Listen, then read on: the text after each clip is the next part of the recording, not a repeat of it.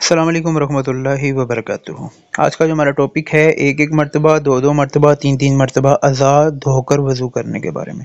देखें, एक एक बार भी साबित है, दो दो बार भी साबित है, तीन तीन बार भी साबित है। ठीक है?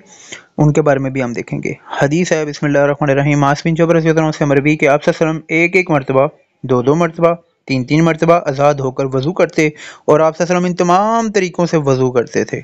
अब इस इस हदीस से यह पता लग गया कि तमाम तरीक़ों से वज़ू किया जा सकता है। एक एक मरतबा भी आप कर सकते हैं, वज़ू के अज़ा को धोना दो दो बार भी तीन तीन बार भी। इस अगली हदीस अनस बिन मालिक रज़ी कहते हैं कि रसूल ने वज़ू का पानी मंगवाया, अपने चेहरे के एक मरतबा धोया अपने दोनों हाथ एक मरतबा धोए धोए और अपने पाँव एक मरतबा धोए और फरमाया, वो वज़ू है। जिसके बगैर अल्लाह ताला नमाज़ कबूल नहीं करता।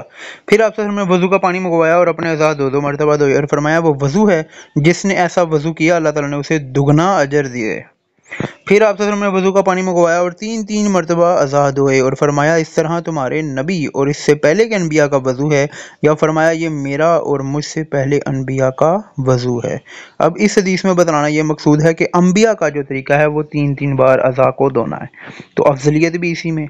ठीक है? लेकिन अब इन चीज़ों से आप फ़ायदा भी उठा सकते हैं। जैसे कि पानी की मकदार कम है गर्मी का मौसम है या अगर किसी रेगिस, रेगिस्तान में हो किसी भी जगह पे हो तो आप कम मकदार पानी से भी वज़ू एक एक बार धोकर कर सकते हैं। ठीक है अगर पानी वाफर मकदार में मौजूद है तो आप अम्बिया का जो तरीका है जो नबी का तरीका है तीन तीन बार वो भी कर सकते हैं। ठीक है उससे ज़्यादा अजर व फजीलत। है और अगर पानी ना मौजूद हो तो, ये भी किया जा सकता है। को।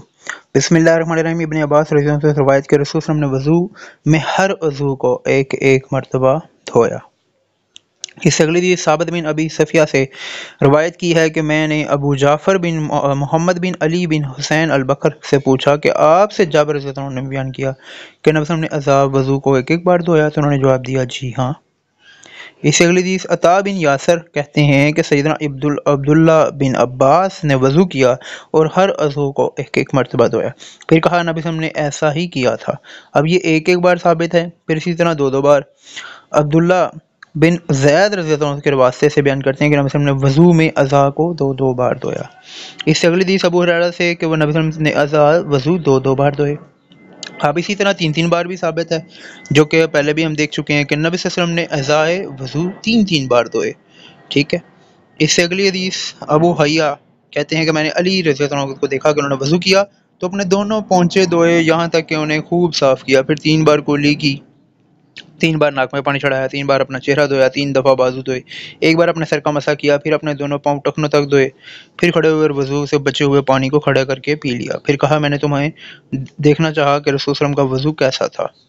इससे अगली दी अबू सलमा बिन अब्दुलरहमान ने कहा कि जनाब हमरान कहते हैं कि मैंने हज़रत उस्मान बिन अफ़ान रज़ी को देखा। उन्होंने वज़ू किया, मजकूर बिला रवायत की मन ज़िक्र किया इसमें कोली और नाग में पानी चढ़ाने का ज़िक्र नहीं किया। और अबू सलमा ने अपनी हदीस में कहा कि सर का मसा तीन बार किया, फिर अपने दोनों पाँव तीन तीन बार धोए।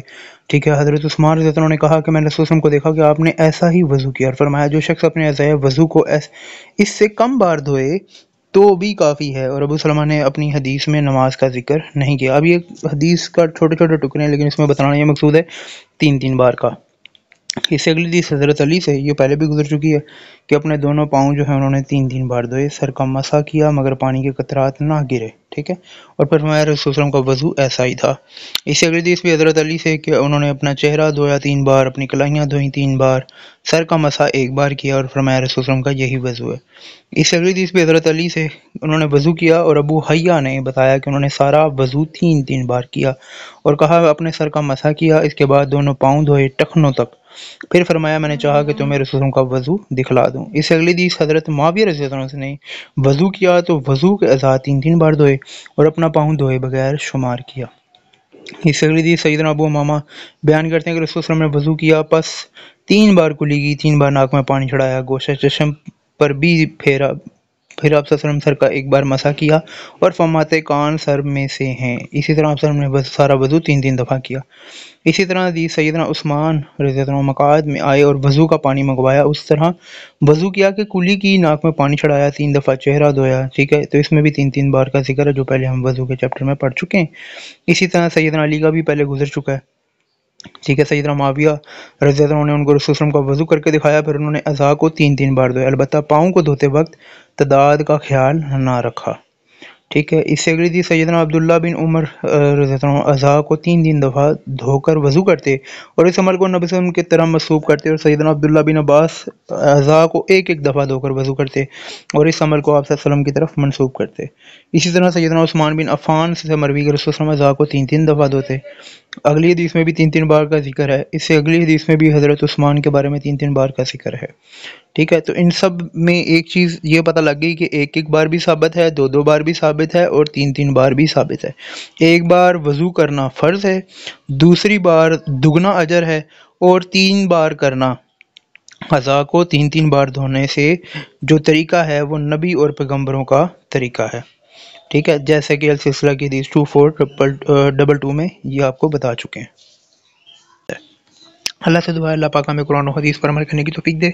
अल्लाह पाक हमारे तमाम सगीरा कबीरा गुनाहों को माफ़ फरमाए, दरगुजर फरमाए और हम सबको हदायत सरातमस्तकीम नाम तो वाले रास्ते पर चलाए और बुराइयों से हम अल्लाह की पनाह मांगते हैं। अल्लाह पाक हमें पनाह फरमाए, आमीन। अस्सलाम वालेकुम वरहमतुल्लाहि व बरकातुहू